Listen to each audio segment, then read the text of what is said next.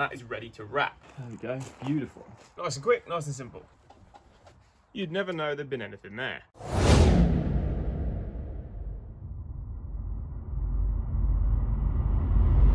What's going on guys? Now today we're going to be doing some more prep for the vinyl wrap. If you've been following me on Instagram then you know that I've been really busy over the last few days and there's still so much more to do as well. As you can see at the minute the rear bumper's off, the front bumper's off, some of the wheels are off and there's just so much more that I need to do. I've got to get badges off, I've got to get trims off, I've got to get all sorts of stuff off so we can wrap the car. If you remember in the last video, we did some repair work on the rear bumper and now that's looking really good. It's really smooth and that is ready to wrap. There was also a lot of damage in this area of the front bumper, but that has now been fixed and now that's been painted as well, so that's ready to go back on the car. I've got the grills and the fog light surrounds and the splitter off and they're going to stay off for the time being while we do the wrap and then we'll have to put those back on once the bumper is all sorted. I'll have to take the TRC side skirt extensions off as well, which luckily is going to be nice and easy because I used riv nuts in the OEM skirt so I can literally just unscrew the side skirts.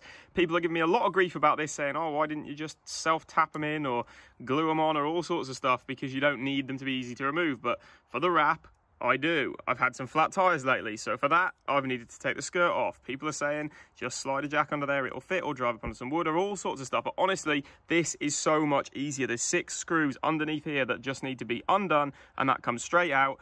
That's the perfect solution for me, so stop giving me grief about it. And then the rear spats, the diffuser with the fins on, and the reflectors are all gonna have to come out of the rear bumper before we fit it back to the car so that the bumper can be wrapped. And I've also been doing a little bit of a rust repair on this rear arch because there was some really nasty bubbling in the paint underneath here where it was starting to rust. So I've treated that, sanded it all back and painted that so it's nice and smooth and that's ready to wrap over. Now the rust repair and the front bumper probably would have made quite interesting videos on their own, but I've been in such a rush to get all this stuff ready so that the car can be wrapped that I haven't had time to do that. Plus, you've seen me do a lot of bodywork and sanding and painting and things like that lately with the rear bumper, and we've done that in the past as well. So I'm not too disappointed about that, but the reason that I'm in such a rush is because there is a deadline for when this car needs to be wrapped. Why is there a deadline and when the wrap needs to be done by? Well, I'll let you know that at the end of this video. But basically, I've got this entire week booked off work and I've got Ash coming to help me, and it's the only time we've really got to do it. And that's not the only reason, but like I said, I'll tell you at the end of the video. But to get the work kicked off for today, the first thing I need to do is remove the rear spats, the rear diffuser, and the reflectors from the rear bumper so it can go back on the car.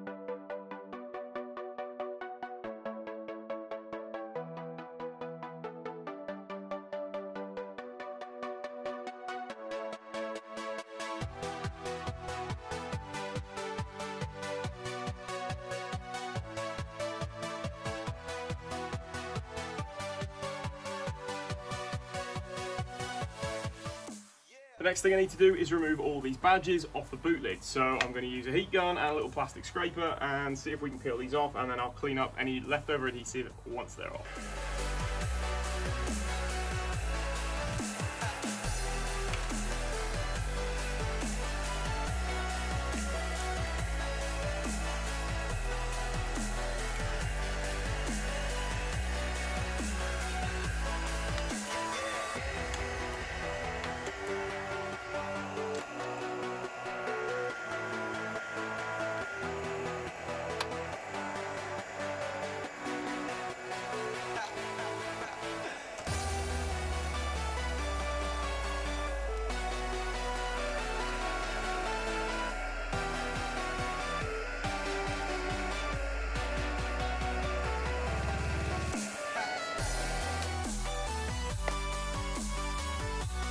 Now to remove the adhesive from the boot lid, what I'm going to do is I'm just going to hold the sponge underneath to stop anything dripping, but I'm just going to soak this in some label remover just for a few minutes.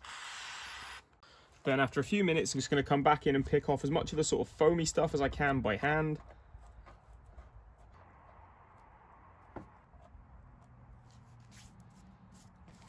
Then I'm going to come back in with some more label remover and really work this in to try and remove those last little bits of adhesive and then you can pretty much just scrape off the rest of the glue with just the front of your nail.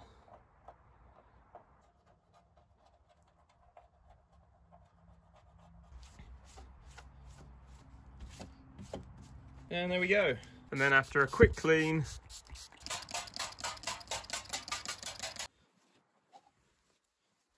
and a polish with the T-cut,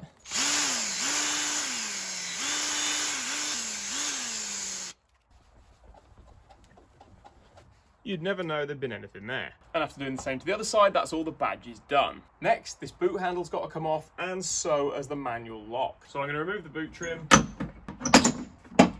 remove the wiring connectors for the number plate lights, unbolt the lock mechanism, unclip the cable assembly, take this locking piece here, remove that, and then the lock can be removed. Then undo the nuts holding on the boot handle. And then the handle can be removed. Okay, so that's pretty much the back end of the car stripped. Obviously the lights have still got to come out on the third brake light, but I'll do that when I get to where this car's being wrapped because it's not being wrapped here. And also I've got to wash the car, so I've covered up all the little holes here and I've actually put the boot handle back in very loosely and the locking mechanism back in really loosely as well, just so no water gets inside the car when we wash it or if it rains, between now and when we actually wrap it. We're starting the wrap tomorrow, and tomorrow is Monday. This is Sunday I'm filming this, but anyway, for now, it's on to the next step. And the next step is to remove the side skirt extensions.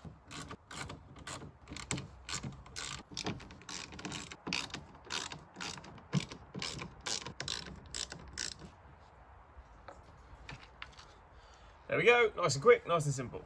And no blocks of wood required. Now that's gonna do it for the side for now. These side repeaters and the strips along the side of the doors are gonna have to come off, but I'm gonna leave them on for now because I want them on there when we wash the car. So those will be removed later. So for now, I'm gonna refit the front bumper.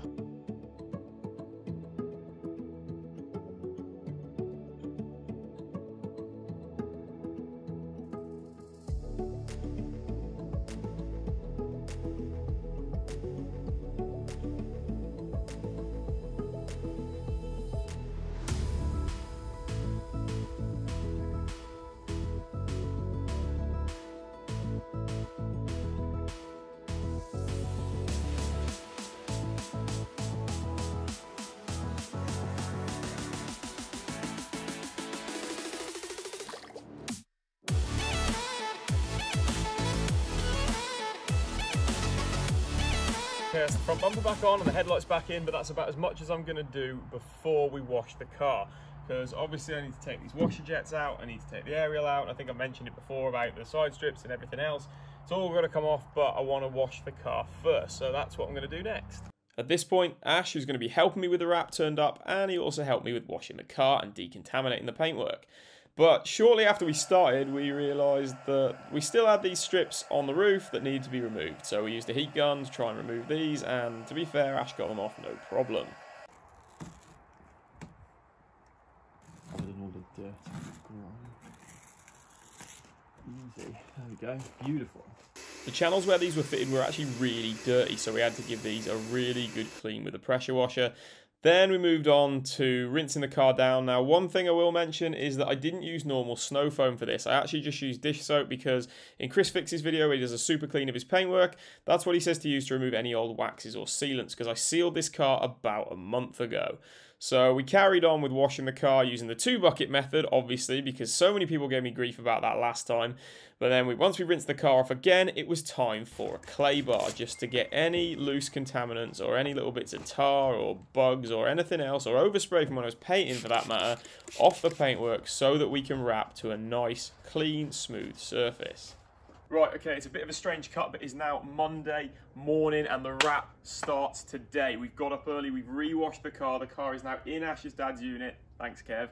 And we are ready to begin. And I told you at the start of this video that I would let you know why we're in such a rush to get this done. So this coming Sunday is Ford Fair at Silverstone and this car is going to be on the stand with Ford Mania.